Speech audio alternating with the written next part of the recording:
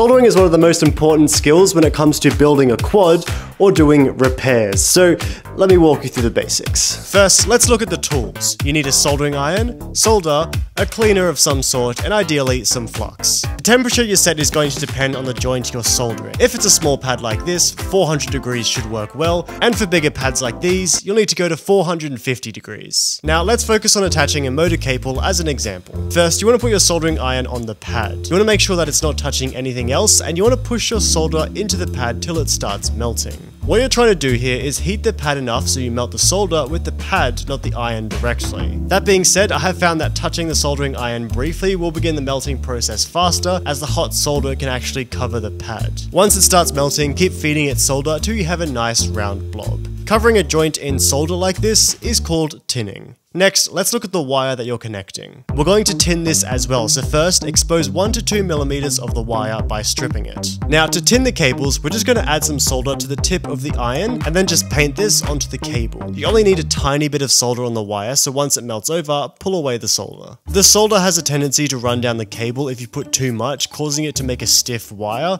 It's not a problem, but it's just not ideal. Finally, to make the joint, place the wire on top like this, and then push down slightly with the soldering iron. You should be able to push the wire into that blob and now you have your joint. For bigger joints, if it's not melting like this, you may need to rub your soldering iron on the joint to transfer more heat. If your blob looks like this with a sharp point, you need to either apply more heat so it doesn't attach to the iron when you pull away, or apply flux to the joint to help the solder flow better.